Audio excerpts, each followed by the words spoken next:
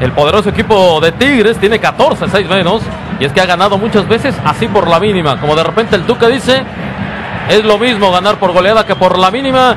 Son los mismos puntos, no se entregan más. Cuando cambia el reglamento, a lo mejor cambiará.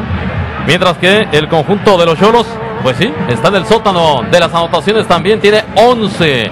Y estamos en la fecha 11, así es que el promedio es bajísimo. Cuidado, aquí David Álvarez aparece muy suelto. Se mete en medio del área, define Lucas, define, sí.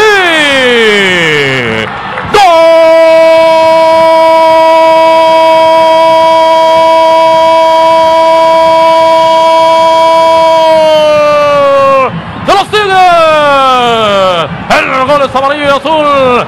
El gol es de este número 16, Lucas Lobos. Que al 40 se mete, aprovecha el ataque. Lo vemos en la repetición también. Justo en el momento lo encuentra.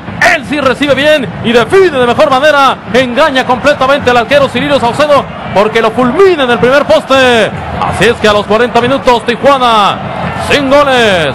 Tigres. Gerardo Belín ya tiene uno. La falta de Ayala sobre Raúl Enríquez. Aquí se silba. La pelota en el área. El remonte. ¡Gol!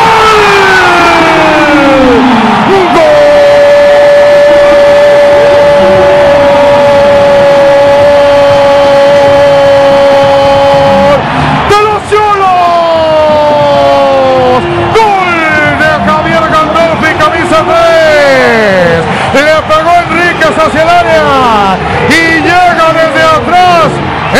Jugador argentino alcanza a desviar la trayectoria del balón y festeja el Estadio Tijuana como auténticas fuentes danzantes. Ahí la repetición, a pesar de que se tiende, a pesar de que se lanza, Enrique Palos se abre un boquete, un boquetón impresionante